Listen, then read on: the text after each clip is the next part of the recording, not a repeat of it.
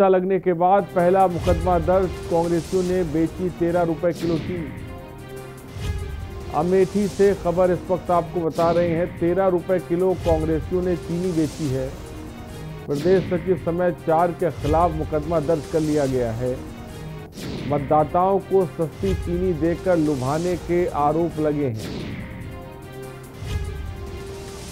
आचार संहिता लगने के बाद पहला मुकदमा दर्ज किया गया है। कांग्रेसियों ने तेरह रुपए किलो चीनी बेची। इसके बाद प्रदेश सचिव समेत चार के खिलाफ मुकदमा दर्ज कर लिया गया है।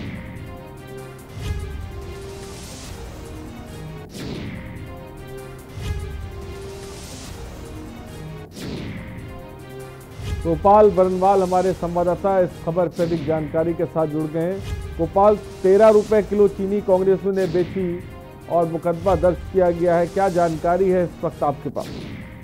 जी, बिल्कुल बता दें कि स्मृति ईरानी जब यहाँ पे सांसद का चुनाव लड़ने आए थे और वादा की थी जब उनकी सरकार बनेगी तो अमेठी सहित पूरे प्रदेश में जो है तेरह रुपए किलो चीनी बिकेगी।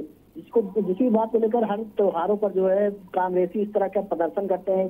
उनको संदेश देना चाहते हैं, जिसके माध्यम से यहाँ पर आचार संहिता लगी हुई है प्रियप्रताप सिंह को देखते हुए जो है कांग्रेस प्रदेश सचिव समेत चार कांग्रेसी नेताओं पर मुकदमा दर्ज किया गया है।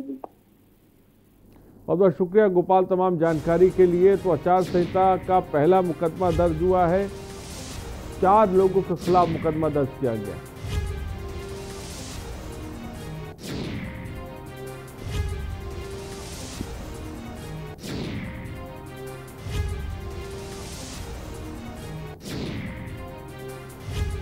खबर अमेठी